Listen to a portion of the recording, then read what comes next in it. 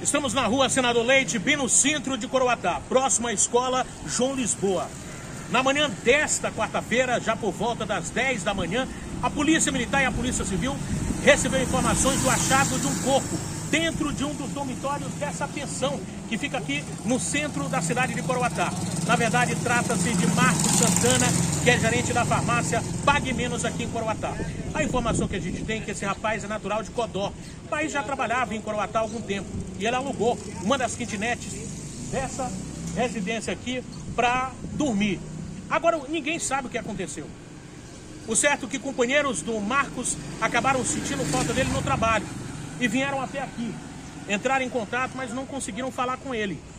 Ligaram para o dono da kitnet. Veio aqui.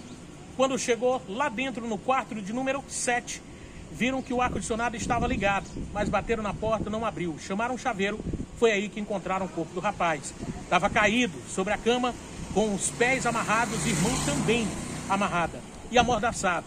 No corpo, marcas de espancamento, inclusive corte de faca na altura do pescoço. O Marcos foi assassinado. A Polícia Civil de Coroatá está no local, fazendo todo o trabalho de perícia. A Polícia Militar também foi acionada. Até agora não se sabe informação de quem cometeu esse crime e tirou a vida desse rapaz. O certo é que toda a área está isolada. Agora estamos aguardando o trabalho da Polícia Investigativa. Nesse exato momento, a Polícia Civil chega ao local para começar toda uma perícia desse local ali que já está, na verdade, isolado.